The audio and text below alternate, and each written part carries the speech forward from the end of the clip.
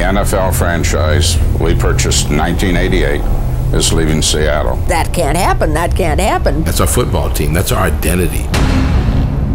I'm starting Save Our Seahawks. I'm going to be your worst enemy. I'm going to fight you all the way. But this is our team. This was awarded to the city of Seattle, and we're not going to let you take it. He was a pest.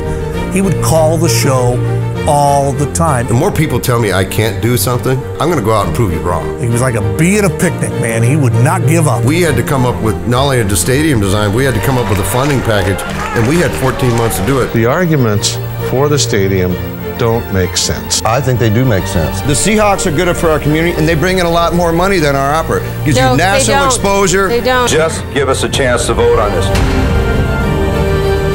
You know, I had a debt of over $100,000 that I'd run up doing this campaign. I was scared to death. This election will come down to a photo finish. We were down bad. 63% of the people rejecting. It was so close. It is winning 51 to 49 percent.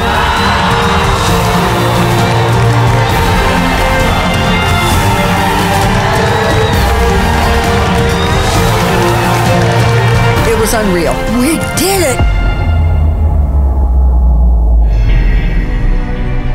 The young age of 34, she was diagnosed with lung cancer. Mark was still like, nope, we're gonna we're gonna find a way to beat this. If being a pest could cure cancer, Mark Collins would be the most famous man in the world because he would have cured cancer. Doggone it, some things aren't fair in life. We wouldn't even be here if it wasn't for Mark Collins. I wouldn't even be talking to you because there would be no reason to. There wouldn't be a team. The guy who said first and foremost, this ain't happening, was Mark Collins.